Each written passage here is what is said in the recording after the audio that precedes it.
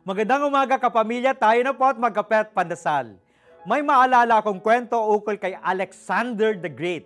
Isang araw, kinalaban niya ang mga Persians na higit na mahusay, magaling, malakas kaysa sa kanya. Yari sa mas matibay na bakal ang mga sandata ng mga Persians.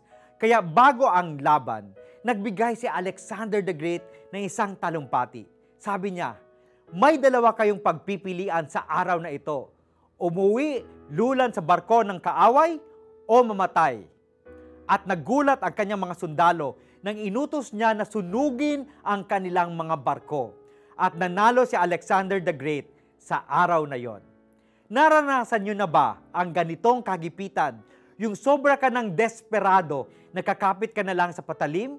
Yung wala ka ng ibang magagawa, kundi lumaban o mamatay? Meron tayong kwento ukol kay Melvin Chua na babasa mo sa Rappler. Iniwan silang mga magkakapatid sa kanilang mga kamag-anak sa probinsya na nag-isip na ipaampon na lamang sila. Ngunit sa araw na kukunin na sila ng mag-aampon, itinaka sila ng kanyang nanay, ibinalik sa Maynila upang doon na lamang manirahan. Sa gitna ng kagipitan, inisip ni Melvin na lumaban sa buhay. Nagtinda ng mga espongha na ginagamit natin sa paghugas ng pinggan.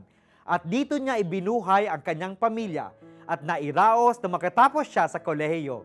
Nagtatrabaho na ngayon sa isang opisina sa Bonifacio Global City si Melvin. Sabi nila, matakot ka sa taong desperado. Manalangin po tayo. O Diyos, bigyan niyo kaming lakas at tibay sa panahon ng kagipitan at hindi kami kailanman uurong sa anumang laban sa buhay. Amen. Magandang umaga po sa inyong lahat.